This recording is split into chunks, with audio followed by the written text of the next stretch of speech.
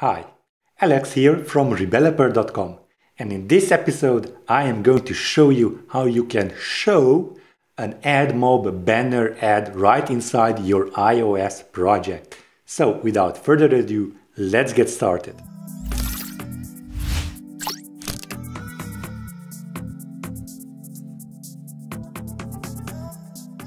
In the previous episode, I have showed you how you can set up your Xcode project to receive these ads. We have talked about pod files, the Google Service Info plist file. So go ahead and if you haven't already done so, please revisit that video. Now we are going to type in some code.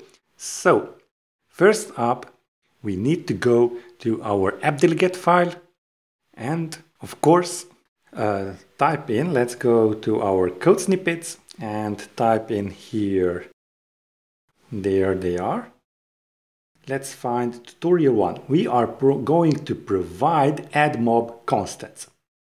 Here they are. And for that, we are first going to create a new constant file. So let's create a new file, a Swift file, and click on next and type in constants. Okay, let's hit on create and here we are. And inside here, mm, let me just go down here and type in add mob and providing constants. This is what you should select and hit return and you will be given a lot of constants that now we need to add. So the first step is AdMob my device UUID. Now this is the UUID, the unique ID of your device.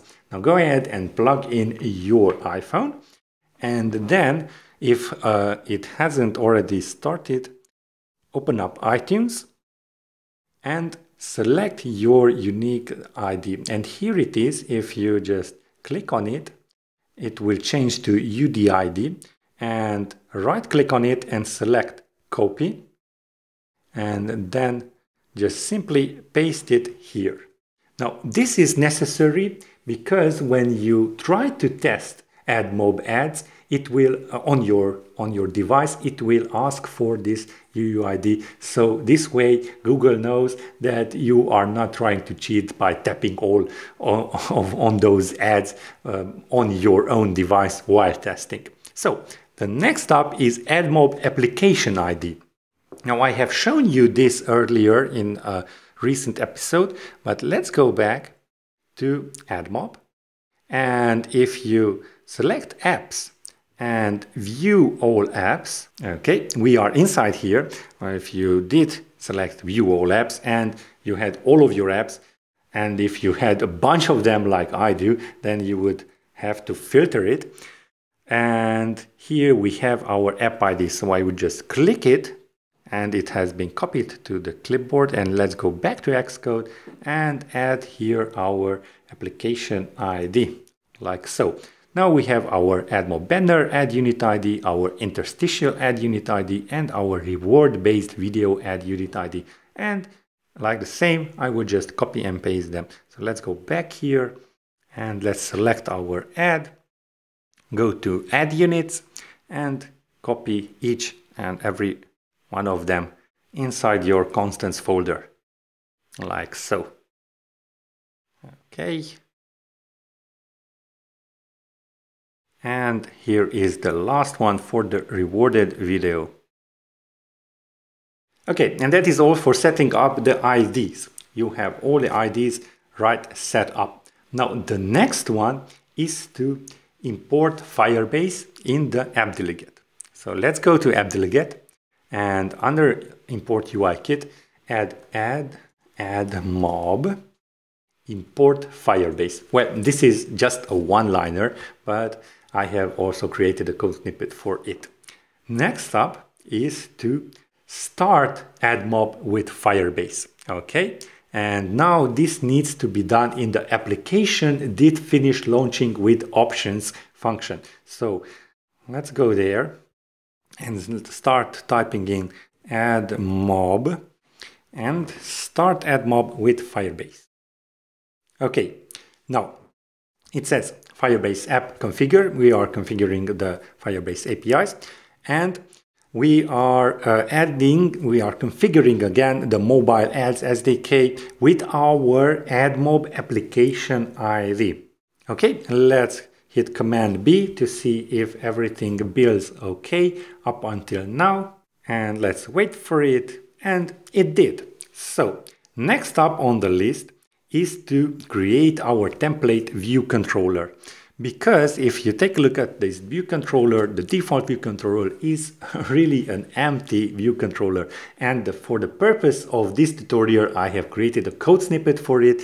So I would just copy all of this, delete it and type in add mob, create template view controller, and this will bring up a whole new view controller specifically set up for this one.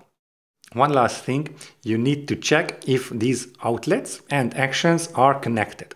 So let's go back to storyboard, the main storyboard, and check if our buttons are connected. And as you can see, Xcode automatically recognized and connected these buttons and of course the actions and the outlets.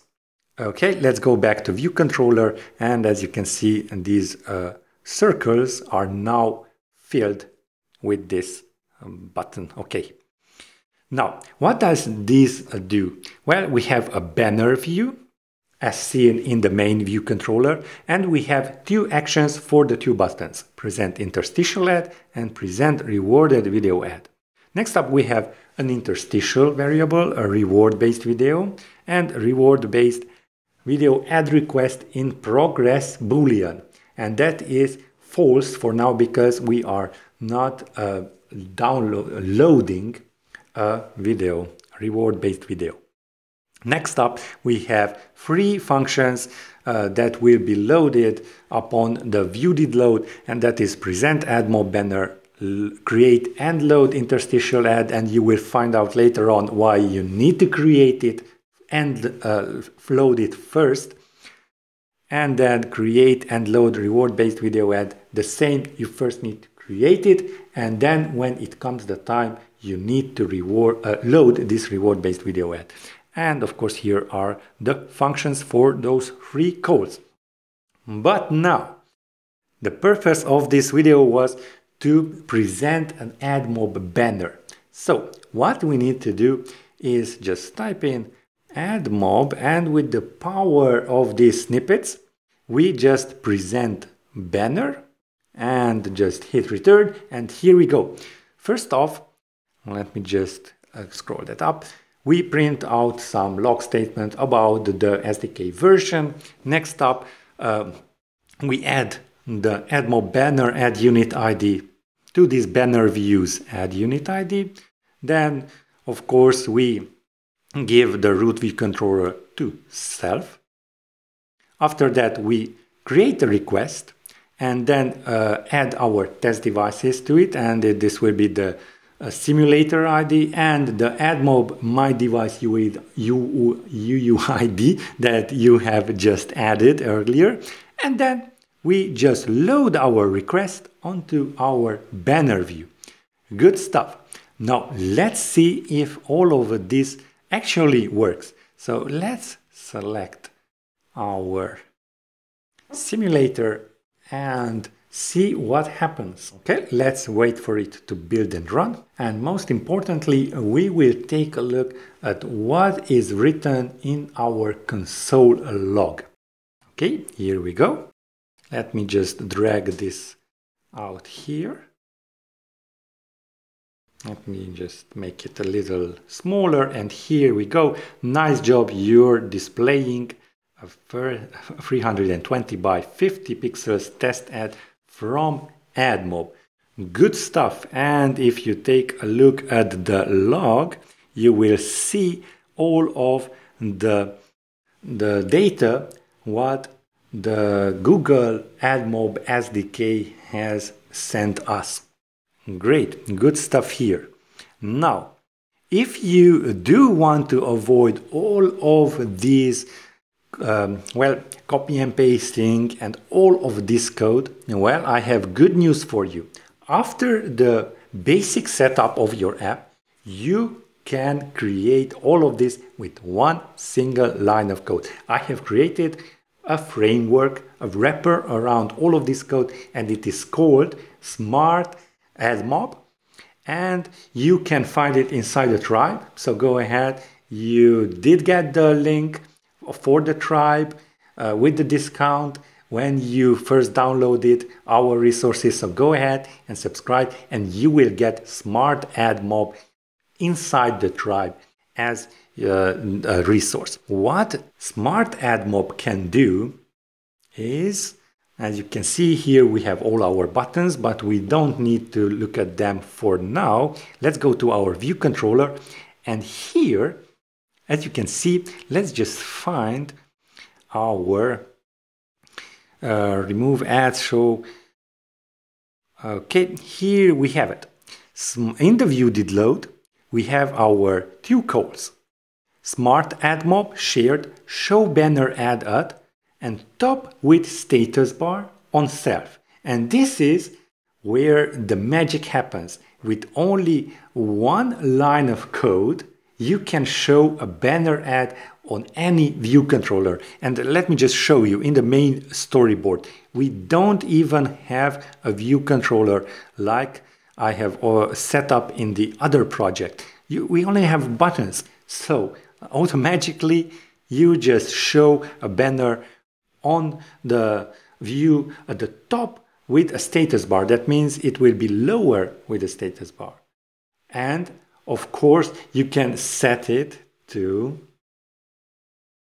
the bottom or just simply at the top. I will just leave it with top with status bar. So if you want to do everything with one single line of code, you can do it with Smart AdMob. I will go through Smart AdMob, the other parts of Smart AdMob as we progress with these tutorials. For now, just know that this is inside the tribe and you can do it with one single line of code.